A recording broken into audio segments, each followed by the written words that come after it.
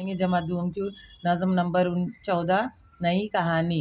अम्मी कहने लगी कहानी। अम्मी कहने लगी कहानी। एक था राजा एक थी रानी एक था राजा एक थी रानी मुन्ना बिस्तर पर से बोला। मुन्ना बिस्तर पर से बोला। अब ये कहानी मैं न सुनूँगा। अब ये कहानी मैं न सुनूँगा। नई कहानी मुझे सुनाओ। नई कहानी मुझे सुनाओ। अम्मी मेरा जी बहलाओ। अम्मी मेरा जी बहलाओ। मैं न सुनूँगा शेर का किस्सा। मैं न सुनूँगा शेर का किस्सा। आ जाता है मुझको गुस्सा। आ जाता है मुझको गुस्सा। क्यों खाता है हिरन हमारे? क्यों खाता है हिरण हमारे? नन्हे से खरगोश बिचारे। नन्हे से खरगोश बिचारे। मैं तो सुनूँगा किस्सा ऐसा। मैं तो सुनूँगा किस्सा ऐसा। एक लड़का मेरे जैसा। एक हो मेरे जैसे को भी जो मार भगाए। शेर को ज़रूर मार भगाए। राजा को खातिर में न लाए। राजा को खातिर में न लाए। पार करे वो सात समंदर। पार करे वो सात समुंदर। सैर करे आकाश पे जाकर। शेर करे आकाश पे जाकर। तारे हो उसके हो हम जोली। तारे हो उसके हम डोली चाँद से खेले आँख मिचोली। चाँद से खेले मचोली बादल में जो झूला झूले। बादल में जो झूला झूले। चाँद सितारों को भी झूले चाँद सितारों को भी झूले अम्मी मेरी अच्छी अम्मी। अम्मी मेरी अच्छी अम्मी। कह दो आज कहानी ऐसी। कह दो आज कहानी ऐसी। तो बच्चों आज हम पढ़ेंगे जमा दुगम का। नज़म नंबर चौदह नई कहानी। तो हम देखेंगे कि नई कहानी में क्या बताया हुआ है कि नई कहानी में अम्मी कहने लगी कहानी, एक था राजा, एक थी रानी। जिस तरह से छोटे बच्चों को कहानी सुनना या सोते टाइम लोरी सुनना, जिस तरह से पसंद आता है, उस तरह इस नज़म में बताया गया है कि एक मुन्ना नाम का एक लड़का है, जो अपने अम्मी के गोद में सोया हुआ और वो अम्मी से कहता है कि, अम्मी, मुझे क्या सुनना है? एक कहानी सुनना है। यानी एक था राजा, एक था रानी की क्या करना है? कहानी सुनना है। मुन्ना बिस्तर पर से बोला, अब ये कहानी मैं न सुनूँगा। जिस तरह अम्मी हमारी सोते छोटे बच्चों को हम सुनाते हैं कि, परियों की कहानी, राजा रानी की कहानी तो मुन्ना वो कहानी सुन सुन कर क्या हो गया है? बोर हो गया और मुन्ना क्या कहता है कि, अम्मी, मुझे ये कहानी नहीं सुनना है। नई कहानी मुझे सुनाओ, अम्मी, मेरा जी बहलाओ। मुन्ना अम्मी से कहता है कि, मुझे कुछ नई कहानी सुनाओ, अम्मी। अम्मी मेरे को नई कहानी सुनाकर मेरा जी बहलाओ। मैं ना सुनूँगा शेर का किस्सा, आ जाता है मुझको गुस्सा कि शेर, मुन्ना कहता है उसके अम्मी से कि शेर का शेर का किस्सा सुनकर मुझे क्या आता है? बहुत गुस्सा आता है, क्योंकि शेर है ना जंगल का राजा होता है, जो पूरे जानवरों को क्या करता है?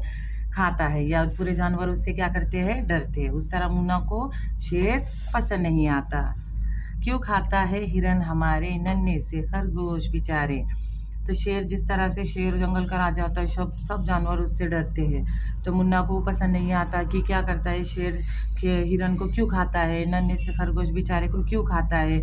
मुन्ना उससे अम्मी से इसलिए कहता है कि मुझे ये कहानी ऐसे नहीं सुनना है, बल्कि मुझे एक नई कहानी सुनो।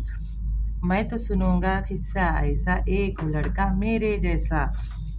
मुन्ना उसके अम्मी से कहता है कि मुझे एक किस्सा ऐसा सुनाओ, यानी मुझे कुछ नया सुनाओ।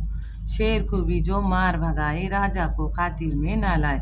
मुन्ना कहता है कि उसने क्या करा है? एक ख्वाब देखा है। उस ख्वाब में उसने खुद को ही देखा है कि मैं मतलब क्या वो मुन्ना राजा यानी शेर को भी क्या करेगा? वो मार भगाएगा। यानी शेर जंगल का राजा होता है, सब जानवर उससे डरते हैं। तो मुन्ना कहता है कि वो उसको भगाना चाहता है और उसको जो जो उसके ख्वाब में वो देखता है कि मैं आकाश की सैर करूँगा या सात समंदर जाऊँगा और आसमान में मैं उड़ूँगा आँख में चोली उनके साथ खेलूँगा और बादल में भी क्या करेगा, वो झूला झूलेंगा। और जैसे चाँद सितारे होते हैं, उनको क्या करेगा, वो छू लेंगा वो क्या करता है, ख्वाब में उसके देखता है, सोचता है।